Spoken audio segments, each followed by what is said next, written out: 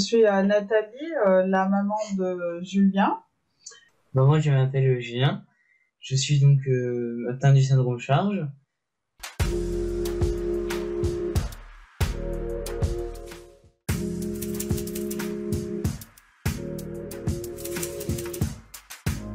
L'association existe depuis 22 ou 23 ans. On, fait des journées euh, conférences charges avec le CRESAM, qui est le centre de référence en termes de rééducation, on va dire. Eux sont à Poitiers. Donc tous les quatre ans, on fait des trois jours avec, euh, on réunit les familles et les professionnels. C'est des journées conférences. Et la dernière fois, j'ai mis en place en fait aussi des consultations. Donc les médecins et les rééducateurs peuvent faire des consultations sur place. on vit pendant trois jours ensemble. Donc du coup, ça permet aussi aux, aux professionnels de voir euh, les jeunes, euh, les enfants, les familles, voir un peu comment ils évoluent en dehors du cadre hospitalier. Et puis euh, bah, les familles aussi d'avoir en fait de pouvoir échanger avec les autres familles et puis de pouvoir communiquer avec les, professionnels de manière un petit peu plus informelle.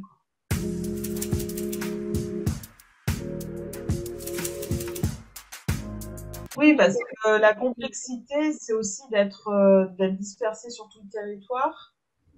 Euh, et du coup, euh, voilà, comme c'est quand même quelque chose qui est rare, qui est encore un peu méconnu, les diagnostics, bon, maintenant les médecins arrivent à, les faire de plus en plus tôt, mais bon, ça reste quand même, voilà, c'est pas quelque chose qu'on trouve, enfin, c'est, on va dire un, un autiste, on sait, on sait plus ou moins ce que c'est. Un trisomie 21, on sait. Euh, il y a des choses qu'on connaît.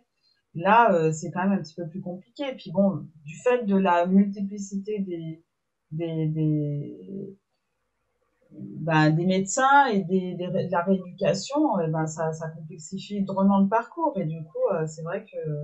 Alors, l'association permet aux familles de se rencontrer chaque année. Donc là, c'est par contre entre familles.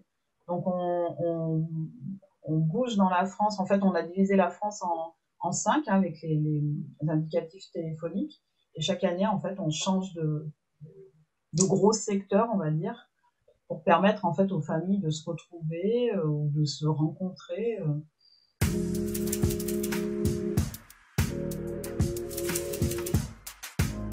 J'ai repris la présidence, hein, l'association existe depuis 22 ou 23 ans. J'ai repris la présidence il y a 8 ans. Je me suis rapprochée euh, des, euh, des équipes relais handicap rares, donc euh, celle de ma région, Rhône-Alpes-Auvergne. je suis, je suis partie du comité de pilotage, aussi avec le groupement national des collectivités handicap rares, le GNCHR. On va faire avec l'association, on est en train de, de créer une, une petite BD qui sera sous format, on va dire un peu euh, genre euh, petit ours brun, donc petit livret, petite BD, hein, euh, avec le B à bas sur, sur le syndrome Charles. Donc,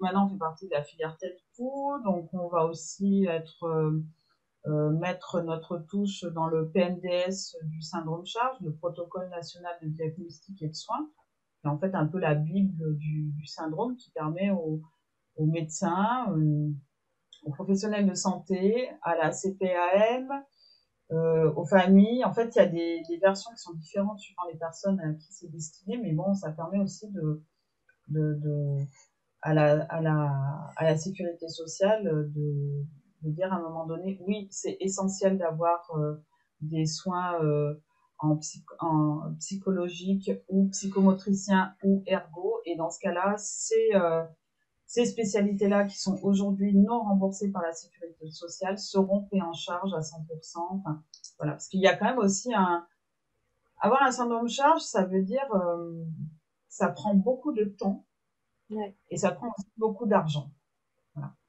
Par contre, euh, moi, avec mon expérience, euh, je veux dire que ça vaut. L'investissement est vraiment. Euh, on a vraiment un retour sur investissement. Hein. c'est, voilà, ça vaut vraiment le coup de, se dire allez, je me consacre à, à, ça parce que parce que parce que voilà quoi, ça, il y a vraiment des effets quoi. Quand la rééducation est, intensive, on, s'y retrouve quoi.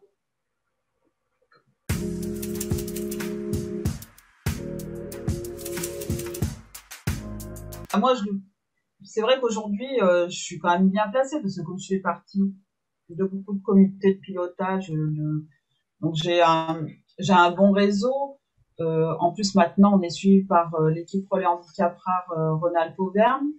Euh, donc ça aussi, ça nous a permis en fait, les équipes relais sont financées par l'ARS, il y a quand même le tampon de l'ARS, l'État, et donc tous les documents que je peux produire et que je donne, que ce soit l'administration ou sur le dans les établissements scolaires, euh, ça donne de la crédibilité en fait à, ma parole. Et du coup, euh, on est plus entendu parce que c'est ça aussi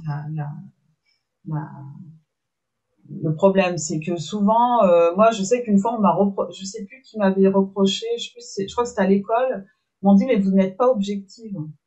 Mais je leur ai dit mais bien sûr que je suis pas objective. Enfin, je veux dire, moi, je n'ai pas à être objective, c'est mon enfant. Donc l'objectivité, c'est pas mon boulot, c'est les autres qui doivent être objectifs pour moi. Mais moi, je dois surtout pas être objective. Enfin, c'est bon, quoi. J'ai déjà suffisamment de recul, donc euh, voilà. Donc ça, c'est ça, c'est un problème, je pense.